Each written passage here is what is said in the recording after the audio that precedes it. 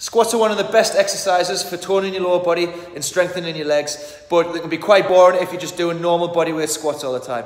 So here's six different variations to mix it up a little bit so you don't get bored.